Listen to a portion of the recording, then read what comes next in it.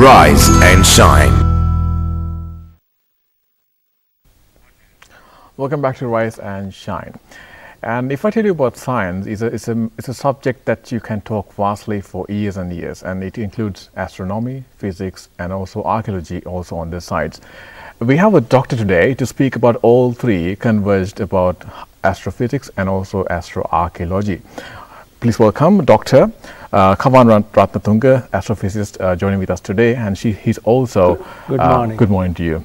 And uh, he's actually uh, I'm working on a number of projects and also held a number of positions around the world and also has earned a number of qualifications, including PhDs as well. And we'd like to welcome you, Doctor. Uh, once again uh, on the show, it's great to have you because you are a familiar, Good morning. pla- a familiar face on the on Rupavahini Corporation on the Atta Rupa program. And uh, today uh, we're going to talk about um, throughout everything that you have done throughout your life. Okay. Uh, to begin with, we'll speak about the uh, Apollo mission and how you actually, um, you know, contributed towards that. Yeah, I I mean, I can't say that I contributed to the Apollo mission. that was when I was in, still in school. okay. But I can remember I was inspired to do astronomy Mm-hmm. as a field, which was not a popular sort of something that you did. Yeah. My mother was thinking that I was nuts to do something, a hobby into a career. But uh, basically, Arthur Clarke used to go to the, all the Apollo missions, and he was like the compare with Walter Cronkite. And at those in those missions, he basically came back, and we didn't have TV at the time. So all we could have was to, for him to come back. USIS used to bring films down, uh, which were shown at the Lincoln Auditorium, and that was the time that we could actually see what happened in the US. Nowadays, instant uh, t- uh, TV, TV, internet. but uh, back in the 1960s, uh, we didn't have any TV at all. so it is completely different era now. Okay. And that was actually then I can remember going for a radio show with Arthur Clarke, uh, question and answer as a schoolboy. And I think that is the one that was Published featured in the Sunday Times uh, article. And uh, after that, I got inspired to do astronomy. So I did a uh, physics special course in the Colombo University and went off to uh, become an astrophysicist. There are quite a few Sri Lankan astrophysicists around the world, not many, maybe about 15 or 20, uh, who have remained in the field and doing research. So I'm the only one actually who has come back now to Sri Lanka Come back to Sri Lanka. and I came back in 2005. I have been here since. And You've been uh, working on astro something completely different now. yes, and after I came back, I have been involved more with archaeology than uh, astronomy, and uh, that's also I brought out some interesting results. That's brilliant. Doctor, also now we uh, like there's a lot of information that we can discuss about you, all the contributions that you have done towards science and archaeology and physics in particular. Um, could you also speak about the Hubble project and how you how your involvement was with? Yeah, I was. I went to the states um, for the to join the Hubble project in 1992, and I was with the Hubble project all the way up to uh, ni- 2004. And the Hubble basically is one of the most successful uh, projects. It was launched in 1990, so we are almost coming up to 30 years of the Hubble. I don't think anybody envisaged that the Hubble would be lasting for 30 years. Uh, we start initially there was a lot of hic- hiccups uh, where uh, there was uh, uh, default fault in the primary mirror, and that was repaired. Okay. And then back in, can I have this? Yes, doctor, if you can uh, explain what's on the screen as yeah. well. So then in uh, 1995, we were lucky to, as you would see on the screen, we were lucky to discover the first gravitational lens with the Hubble Space Telescope. Okay. And that was quite a first. We were quite unexpectedly, we knew that those lenses would be there, but we didn't expect to be the first to discover one with the Hubble. Doctor, could you explain what that does Okay. to the audience? A gravitational lens is a distant quasar or something. Now, uh, Uh, even Einstein basically said that when light goes close to a large object. And it could the large object could be the sun, it could be the uh, galaxy or whatever. That it bends slightly. Okay. So this was originally predicted back by uh, Ein- Einstein in two- 1990 and with the general theory of relati- relativity, and it was tested actually in an eclipse in 1919 to show that the starlight close to the sun was bent at the time of the eclipse, so that light comes.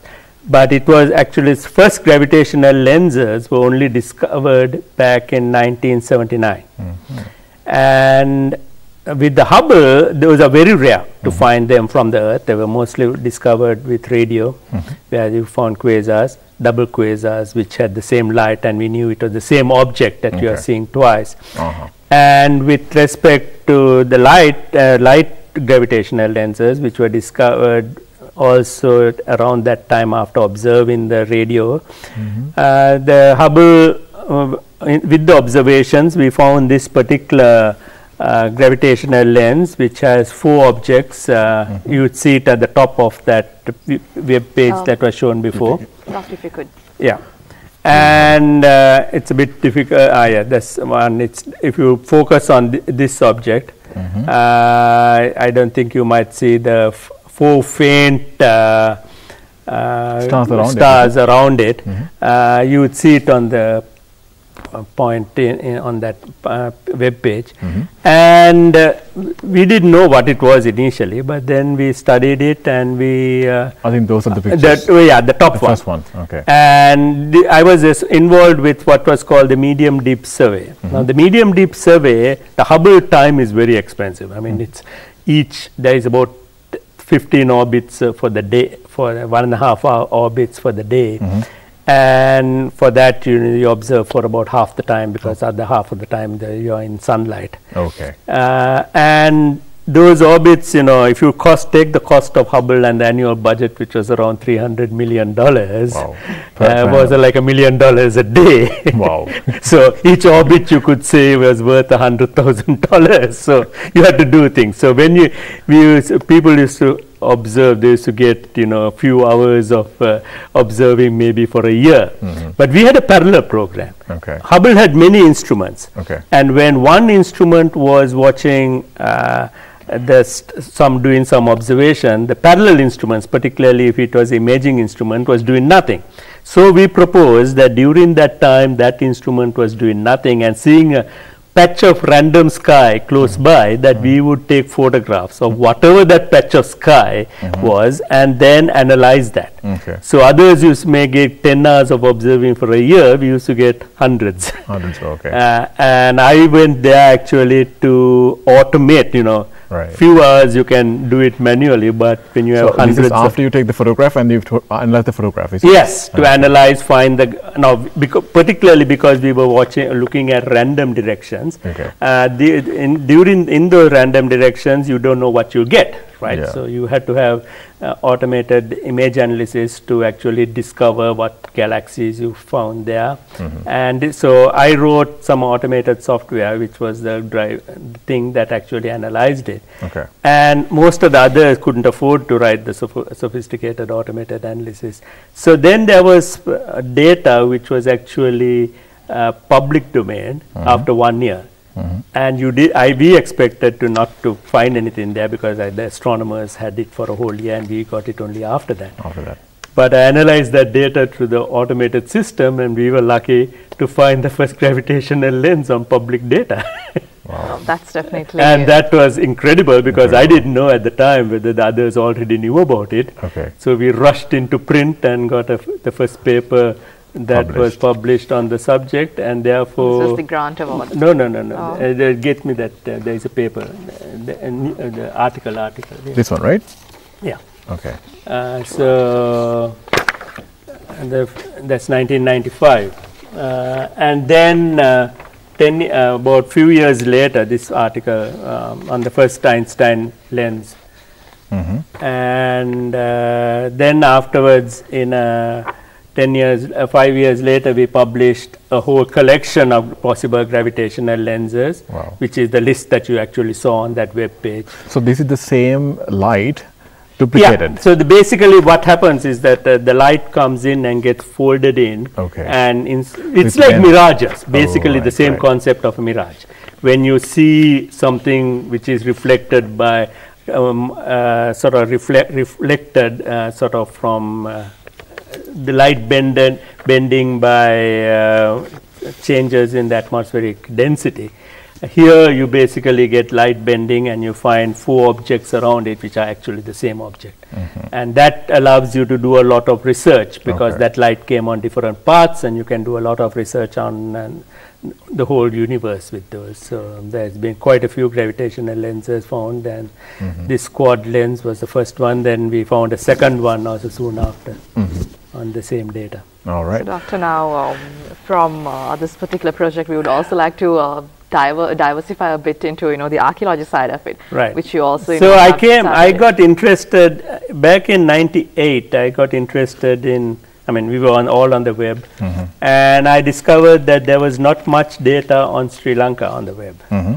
And that was sort of thing we had to publicize our um, uh, country.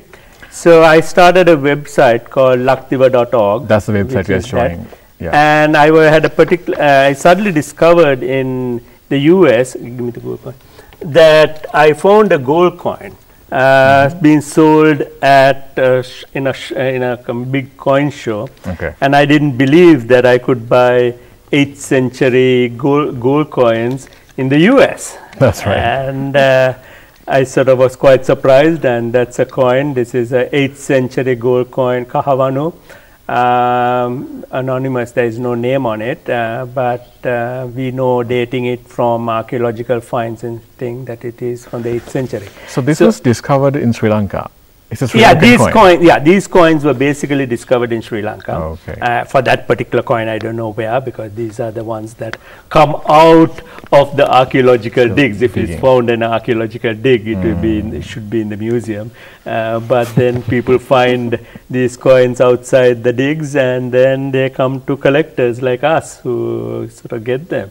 Luckily, they come to collectors like us because for a long time these coins were getting melted because it is illegal to sort of, if it is discovered, it should be handed over to the department, but the department doesn't sort of pay for it, so people just melt it. So it took a lot of effort to actually get stop these people melting it and try to sell it to us, so that at least we had uh, the, a part of the archaeological find and. Uh, so that's quite interesting. So I was quite interested in putting something on the web, and I put a history of Sri Lanka on the web. Which was the f- first time we got a whole history called Codrington's Short History of Ceylon, which was done actually with, by my son, Okay. who was uh, four, Rajiv, who was 14 years old Ah, at the time. He got him to scan a whole book, All right. OCR it, and put it online. This was back in 1998 Okay. uh, when In the web was very, Very more- young. more than 20 years ago when the web was very young.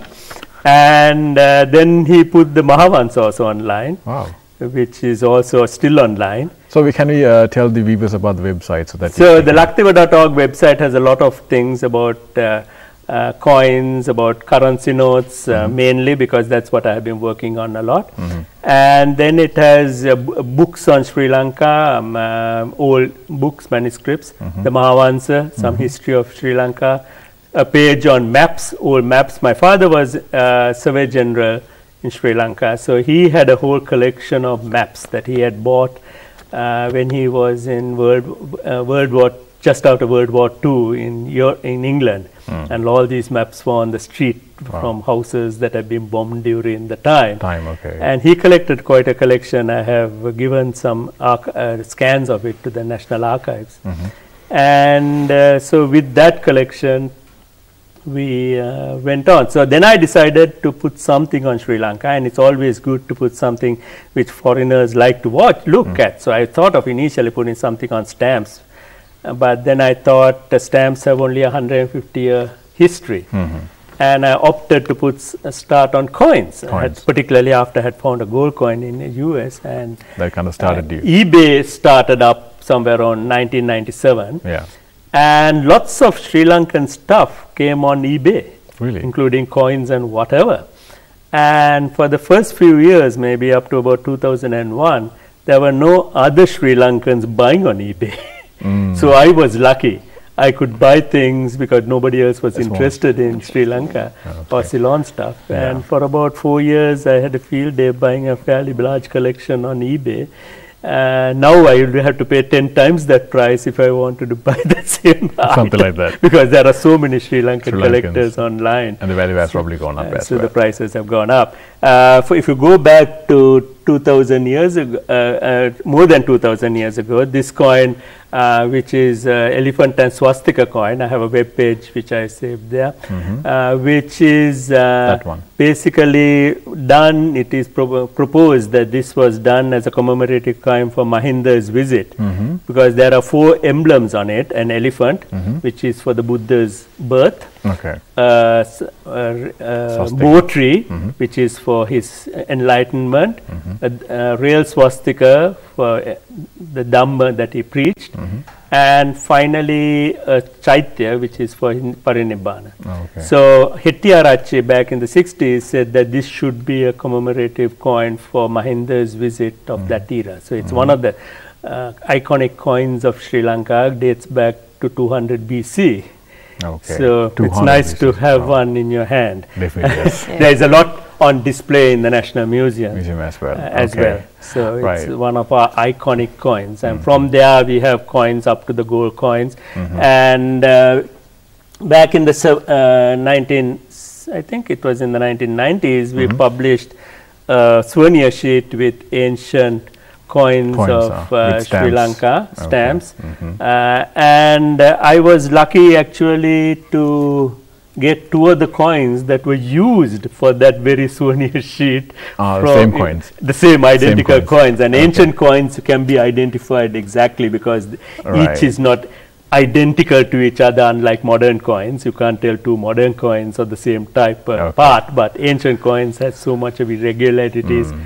I can find it was actually from the collector who originally Right. uh, had those coins and gave it to the postal department for drawing, Drawing these coins. them, So I was okay. very lucky. Right, So all Sa- these are put on a website called coins.lakdiva.org, which has a thousand pages on Sri Lankan coins. Brilliant.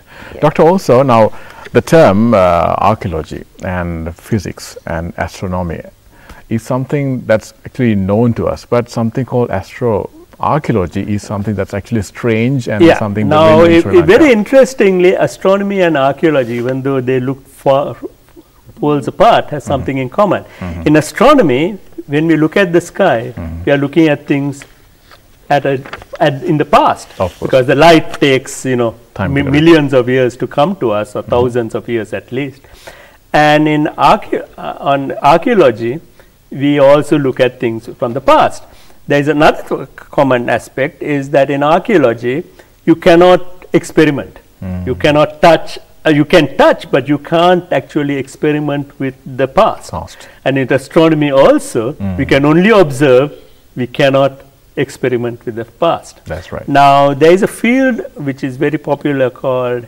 archaeoastronomy. Mm-hmm. And that is where you use archaeology to do astronomical research so there is eclipses observed by the chinese and previously with various parts of the world mm-hmm. and they recorded that they saw an eclipse on such and such a date and it is we can we know that those records.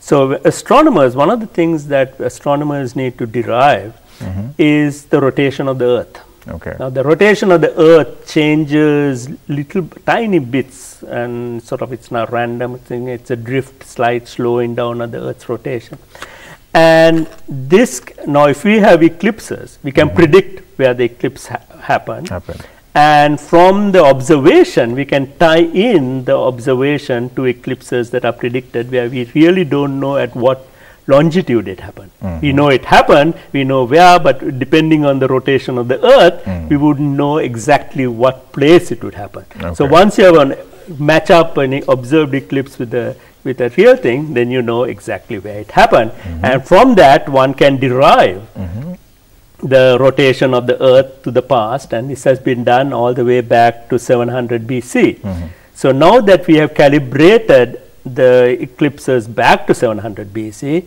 we can observe, uh, we can predict mm-hmm. where a total eclipse of the sun would have happened, mm-hmm. on what day it would have mm-hmm. happened. And that makes it interesting. Now we can t- reverse the process. Okay. Now you have predicted eclipses, you have where it was observed. And about 10 years ago, a friend of mine who is uh, also a coin collector, Brigadier Munasinghe, suggested that I look at the Mahavansa and see if I can identify any eclipses that were predicted there. So I looked at the record and I was quite s- surprised actually to find an eclipse uh, for, uh, uh, which happened on 481 BC, uh, April 19th at 8:30 in the morning, Eight in the morning. and that was pr- predicted. And it also it happened uh, across Nagadeepa in the north No. And eclipses are very rare. In any one place, it will happen once in 600 years. Once in And 600 years. so that, it, that's also rare. I mean, Colombo had an eclipse back in 1955. Mm-hmm. Uh, we saw it, but we won't see one another one for another couple of hundred years. Okay. So uh, uh, Sri Lanka. Uh, so th- so then I looked at the Mahavansa, Mm-hmm. and in the Mahavansa, with respect to the second visit to the Buddha, Mm-hmm. it gave a month, mm-hmm. and it also said that it happened at new moon okay. and total eclipses of the sun mm. happened at new moon. And the month was exactly as given in the Mahavansa of this eclipse at on 481 BC. Mm-hmm. same day, same, Same same time as a month. The month is as predicted. Okay. At the morning hours, it is as told in the Mahavansa. Mahavansa. So it looked as if there was some match of the what is described as the Buddha coming, Mm-hmm. make creating darkness over the war and the war ending Mm-hmm. because of the fear of the people who were involved with that war. This is the war between Choloj and and the Mahandra. Okay. So there was a match there, and uh, and if you go further, you find that the Deepavansa actually describes to say that the Buddha was seen as the stainless moon. And that's what it is. A dark, completely black moon, which is completely not illuminated, is a stainless moon. and so I think you couldn't get to a closer description of uh, eclipse than that. And then to add to that, uh, two and a half years uh, before that event, in seven, uh, 485 BC, mm-hmm. there was a total eclipse of the moon which happened in the same month mm-hmm. as the Mahavansa describes the first visit, which was visible in Sri Lanka. Mm-hmm. And one can derive all the statistical probabilities of having such a pair of eclipses over a period of uh, uh, 12, you know, uh, 600, 250 years I took. I mean, I said, I don't know when this happened. Yeah. I give a span of 250 years. And if you work the statistical probability, it comes out to be something like 1 in 360.